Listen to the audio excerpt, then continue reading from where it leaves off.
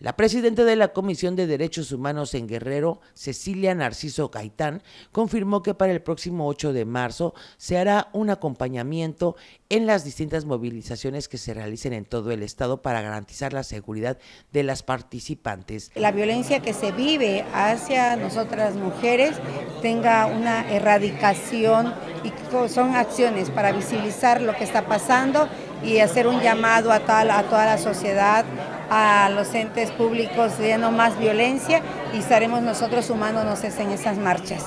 Narciso Gaitán confirmó también que se tienen expedientes por acoso escolar, por hostigamiento laboral, entre otros. Las dependencias involucradas en distintas denuncias presentadas ante esta comisión están en proceso, son la Secretaría de Educación Guerrero, Fiscalía General del Estado, la Secretaría de Seguridad Pública, entre otras. RTG Noticias, Maui Ortiz.